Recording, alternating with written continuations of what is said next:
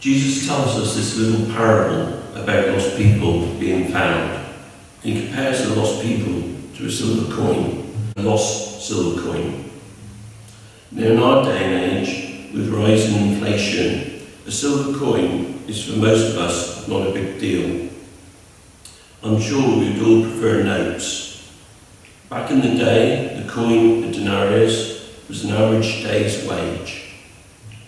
For a woman, it may, it may have had more significant use than just spending money. In the society of Jesus' time, in Jesus' time, it could have been part of a wedding headdress of ten coins, which would have taken years to save.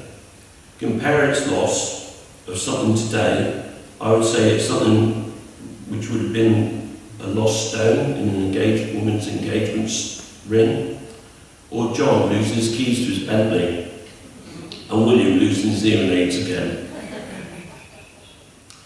So as Jesus tells this parable, we get this picture of a woman having lost something of real value. Jesus is comparing this woman to God and the coin to the lost sinner a fairly brave thing to do back in the day, comparing God to a woman. One item that the woman used to find the coin was a lamp. We are, like, we are the light of the world, and I'm sure that everybody here would like to bring light into the darkness. This is not the tool I want to talk about. She had another tool, and the tool is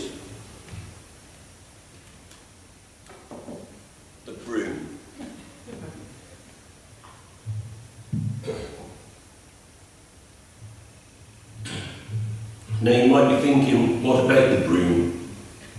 Well, as you can see from the stone example of the broom, I hold, well, I put it here, but I hold in my hand, there's a couple of fairly important features to any broom.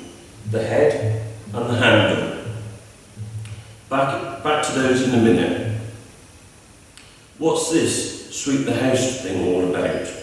Well, the house was dark, and the lamp was a tiny oil-filled lamp that put about as much light as a candle. The woman she was accustomed with, she had two, two senses, her vision and her hearing, to find this valuable lost coin. The house was still darkish, and the broom was used so that the woman could hear the coin as it was swept. Looking as she swept with a glint of light, listening to the sound of the broom brushing the coin, the head of the broom, bristles sweeping, the handle of the broom in the hands of the woman knowing where to sweep, responding to the movement of her wrist and arm, looking for what is lost. Here she was sweeping the whole house. Today, I want to ask the question, in our relationship with God, in your relationship with God, are we willing, are you willing to respond to the movement of his arm. Maybe you are new to the idea of something of value to God, or lost people of value to God. Are you like a new broom that is still waiting to be bought from the shop, or a broom that has never been engaged in its role, having never made the decision for him? Maybe you're resting like a broom, tucked away in a cupboard, Maybe a little concerned that God might not get you to sweep in places that are uncomfortable, preferring just to be waiting, not sweeping. You may be sweeping for the lost in places that he calls you to go. The thing is that the broom is, that is not used for sweeping is just a funny looking stick. God seeks after the lost. We can ask ourselves, are we doing our part in the sweep for their redemption? Am I doing my best to be used in God's hands to help save the lost from their sinners or from their sins? The other thing with a broom is that it is also used to maintain a standard of cleanliness. As Christians, we can show how we live our lives under the guidance of his hands. Just maybe we'll be worn just as the bristles of the broom, a little damaged, but still be able to sweep, eventually well worn for his kingdom. Of these two brooms, the new one and the well worn one, answer this which has achieved more, which would be able to tell the best stories.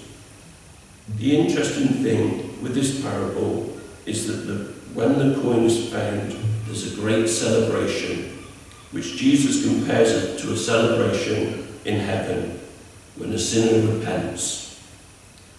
God celebrates when the lost are found.